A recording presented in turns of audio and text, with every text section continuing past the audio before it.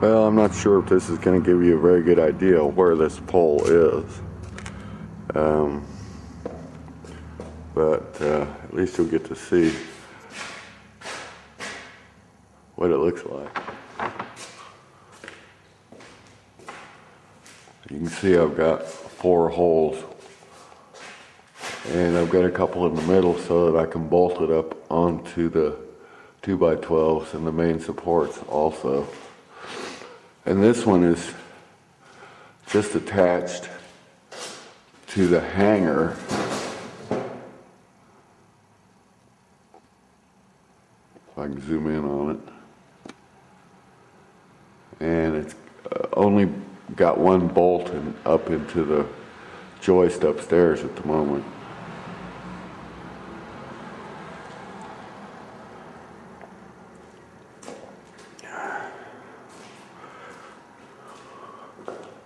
I didn't like getting so real close to that expand that expansion joint. It's not a real expansion joint, uh, but it I guess it was done for to section it off.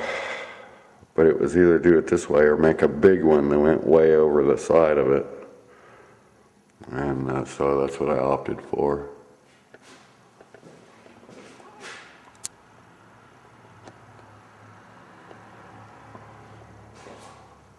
See, I'm gonna have to trim these, this molding a little better and then box around it.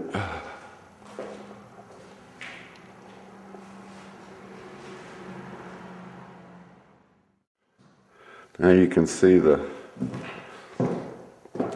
how the joist hangers fit on there. On the inside, this is the, this is the, the joist that's in the way and I'm going to have to do something about it. It's, it's in the where the center beam's going to go, and I think you can see maybe how I had to chisel it out right there. And I also ground the edge of the joist hanger some so that it would slide in there. Otherwise, I wouldn't have been able to to get it in the right place.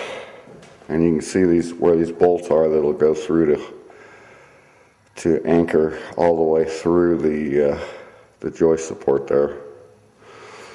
and the other end, excuse me, I had to put I had to put spacers in here, which are anchored to the joist and the joist support and then some big old bolts going through there. There's not going to be much weight on this one uh, because of these stair steps.